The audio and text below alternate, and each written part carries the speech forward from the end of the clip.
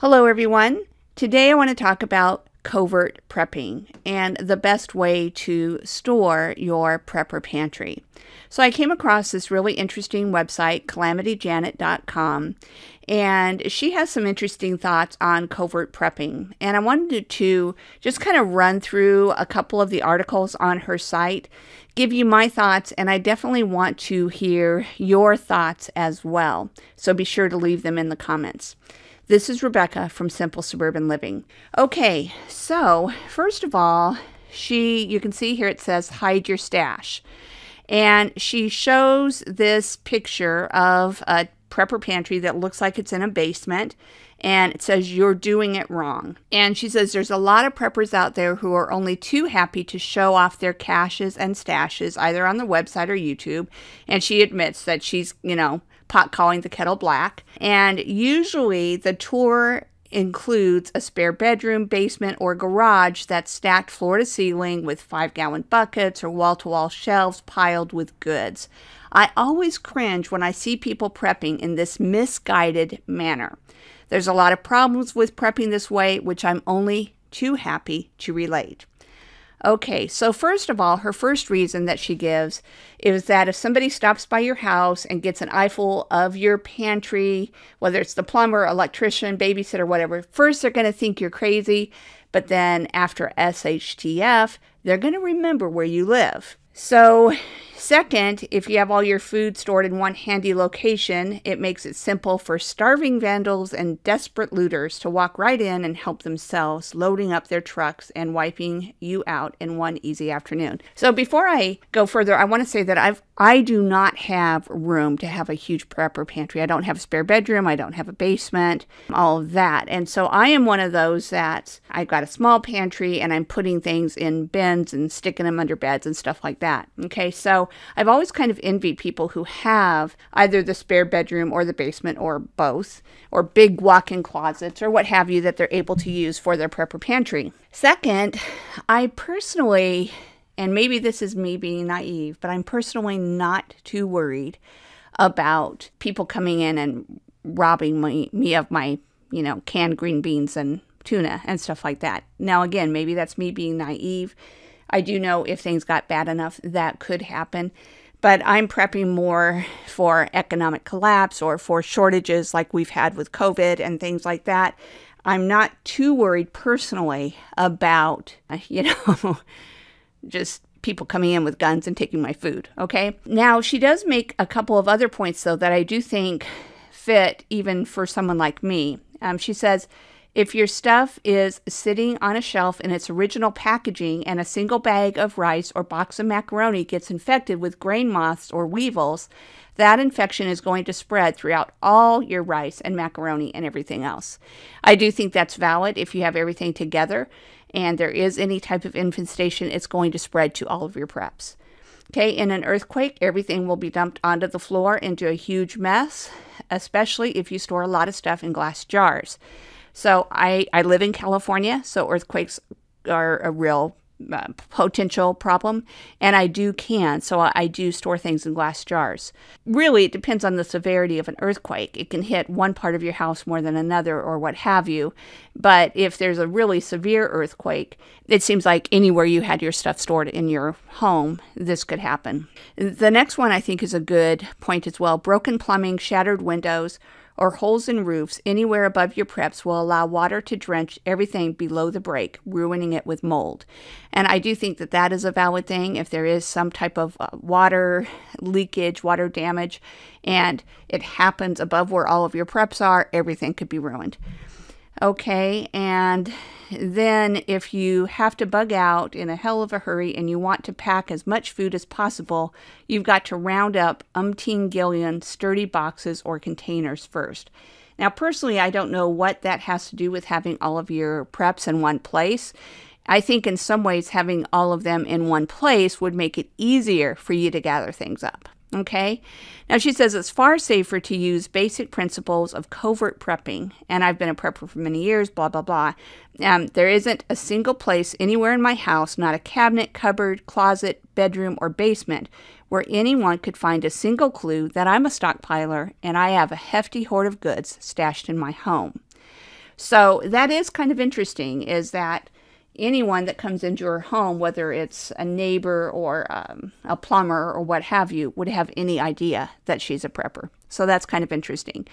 So I want to show you some of the creative ways that she stores food and water and then share some of my thoughts on those. So first, let's look at her prepper pantry. All right, so she calls this a proper prepper's pantry. And what she did is she has a bed frame in an empty bedroom, and you can see that she put these boards across the bottom of the bed frame. And then she puts food inside of the different sections of the bed frame. She put all of the grains in the middle as she says, everything made of grain goes in the middle to discourage grain loving insects from inviting themselves in. These grains will end up being totally surrounded by a sea of canned goods. This is the best possible place to store canned goods where the temperature is constant but cool and there's no chance of any sort of moisture. Okay, now you can see how she's starting to fill up the bed, uh, underneath the bed, the frame, with canned goods. And then here it is complete. She has all of her canned goods, dry goods, full underneath the bed. And she says there's gobs of tiny things poked into the little spaces between the cans cigarette lighters, packs of gum, matchbooks, tea bags, rolls of lifesaver candies, etc. If there was even a quarter inch of available space on top of the cans, I used it to store flat things like fruit leather, soup packets, lots of extra Ziploc baggies, pouches of gravy seasoning packets. Every square inch of space is used up. Okay, so what she did next is she put boards down over the canned goods and other items. It looks like she, yeah, she actually screws the boards to the frame, not only for stability, but also so that vandals will have to have a screwdriver and a lot of time in order to break into this pantry. And you can see here's where it's pretty much done. Bed frame all assembled and headboard in place as well.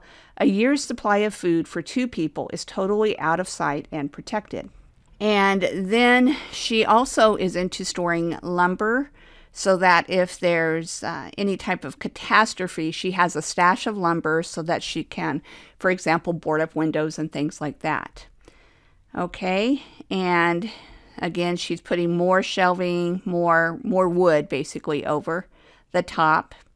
And then she's alternating layers of wool blankets, tarps, and air mattresses because storing these things here is far better than having them take up the limited space I have available in my closets and basements. All right, and then finally, this is what it looks like. She says, in the mattress, the sheets, the blankets, and the pillows, and here you have a perfect and proper prepper's pantry.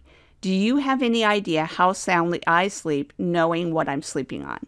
So, first, I have to give her props because she has a ton of stuff stored all under her bed and it's very secure. Now, the challenge that I have with this is that she cannot get, she herself cannot get into any of this stuff easily. She can, but she has to, of course, take all that stuff off, all the boards off, and so on. I personally believe in having a working pantry and I like to use the food that I store and then replenish it. That would be very difficult to do in with this type of setup. Okay, so that's the biggest problem that I have with it. To me, if you were going to do something this extreme, it would be better to buy the long-term survival food and stored in there. So I'm talking like the cases of food from, you know, Augason Farms or Mountain House or whatever, the ones with a really long shelf life. And then doing all the tarps and things like that and putting it under there. Okay, but anyway, I wanted to show this because I do think it's it's quite amazing and interesting what she did. I just don't know about making it secure to the point that even it would it would be even hard for her to get to it. All right. Now let's look at under the bed water storage. Okay, so she did a simple, uh, a similar thing here. Under one bed in my home, I store food. Under the other bed in my home, I store water. This is because I was spooked after a small earthquake and so on. So she has all of this water storage under her bed. Now, that I actually think is kind of a good idea because you don't need to rotate it out a lot. She did very similar to what she did on the the first bed that I showed you. And so that I think makes perfect sense. I think it's a great idea. And uh, says, she says, a dust ruffle hides the bottled water from view. So that also kind of gives me the impression that she could get to the water if needed. So that I thought was a, a really nice idea. And you can see how much water she can store under the bed. There is another creative idea that she had. And this is hoard and seek, is what she called it. Now, she has this armoire, and you can see that behind it, she's put all of these canned goods. And so she says, but wait, behind the ordinary old fashioned armoire, a stash of canned goods conveniently stored in a temperature stable environment, free from the danger of getting wet or freezing solid, with a stack of duct tape cans exactly as high and as wide as the armoire. Several hundred cans take up only a three inch strip of the bedroom floor. So again, I thought that was kind of interesting, but it kind of goes back to the same challenge of actually getting to the food and using it. I suspect that her whole prepping philosophy centers around a really extreme, extreme uh, issue and wanting to have food stored, again, not getting access to it regularly, not rotating the food out, just putting it in there and, in case there's some type of big catastrophe. Okay, here's another thing that she shows an ordinary closet constructed using 2 by 4s forming the frame and paneling forming the exterior. On the interior side of the closet, there's plenty of room for canned goods in between the posts that form the frame. It's another perfect environment for long term storage of canned goods. Next, let's get them hidden from view. And you can see that she puts boards to cover them up. And so, again, it's a very creative way to store food it is a way to keep it hidden. It is a way to keep it safe, but it also would be difficult to access and to rotate out. So, my personal thought is I love some of her ideas. I love the way that she has stored a lot of food in a small space. I do agree that it's good to have your food storage spread out so that if there was ever a problem such as water leaking, it'd be great to have it in different areas. I'm just not so sure about storing it in such a way that it's difficult for even you to access it. But let me hear your thoughts. Do you think that her method is the right method or a method that you should use? Do you think it's bad to use just a spare bedroom or a basement or that type of thing, uh, one big area for all of your food storage? Or do you think it's good to spread it out? So I would love to hear your thoughts. Please share them in the comments below. And I'd also appreciate it if you would like this video. And if you haven't already done so, if you would subscribe to my YouTube channel. Thanks so much, everyone. Have a great day.